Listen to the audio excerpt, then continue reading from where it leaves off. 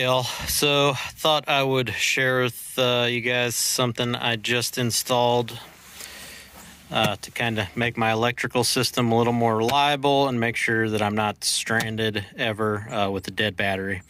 And that is this battery isolator switch. Essentially, all this does is disconnect the main, the positive line um, from the rest of the car from going to the battery. Uh, and the reason I did this was because, as I've mentioned in the past, uh, my head unit does draw a little bit of current. So if the car is left sitting for a long time, eventually the battery is going to go dead. Um, and I've confirmed that it is, in fact, the head unit, um, just because it didn't do that before I installed the head unit. So I know that that's what what's doing it. Um, and again, if you've seen any of my previous stuff, uh, I just installed a Noco Genius chart or battery maintainer in the back of the car in the spare tire compartment. Um, and that is what this wire right here is. So this runs in this wire loom down under the car and then up into the spare tire compartment where it's attached to the Noco charger.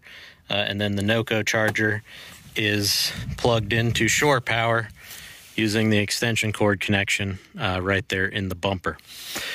So that wire is connected directly to the battery.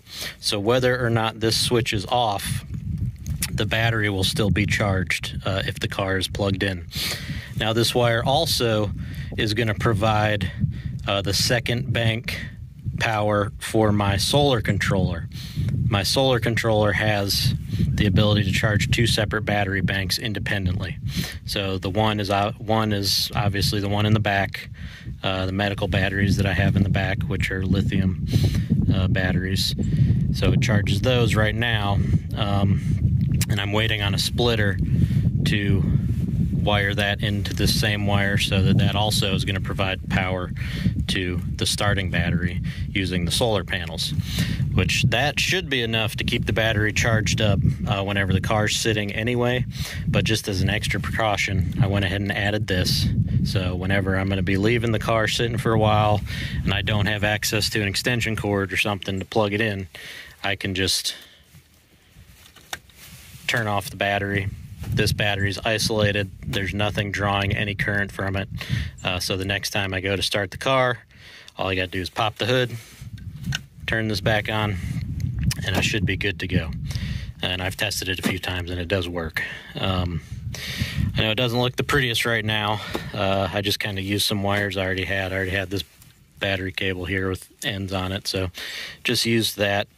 And as you can see, uh, I've already actually removed the stock battery tray that comes in the element, that big bracket that sits here, and I've dropped the battery down. Um, the tray is an aluminum tray made for the Optima batteries, and it's mounted to the frame rail uh, using some rivnuts. So it's just sitting there, it sits lower. And then I replaced my connectors with some uh, military spec, um, more heavy duty and easier to work with connectors yeah, there you go. That's a basic electrical setup for isolating my starter battery to make sure that uh, when I go to start the car, I got power.